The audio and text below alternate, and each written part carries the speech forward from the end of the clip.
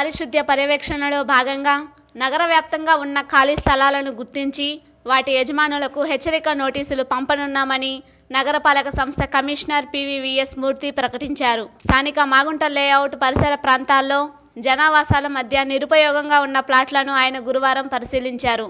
ఈ సందర్భంగా కమిషనర్ మాట్లాడుతూ ఖాళీ స్థలాల్లో వర్షాలకు భారీ స్థాయిలో నీటి నిల్వలు చేరి ప్రాణాంతక దోమలు పెరిగేందుకు అనుకూలంగా ఉన్నాయని వివరించారు.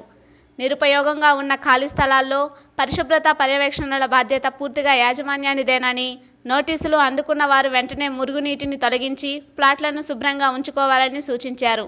నగరపాలక సంస్థ హెచ్చరికలను యజమానులు బేఖాతరు చేస్తే స్థానికులకు ఇబ్బంది కలిగించేలా ఉన్న ఆయా స్థలాలను జప్తు చేసుకుని కార్పొరేషన్ ఆధ్వర్యంలో పారిశుద్ధ్య పనులను చేపడతామని కమిషనర్ హెచ్చరించారు.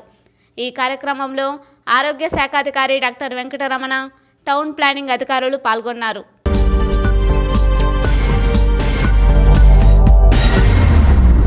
మరింత తాజా సమాచారం కోసం చూస్తూనే ఉండండి జేఎన్ఐ టుడే. సబ్స్క్రైబ్ చేయండి లైక్ చేయండి.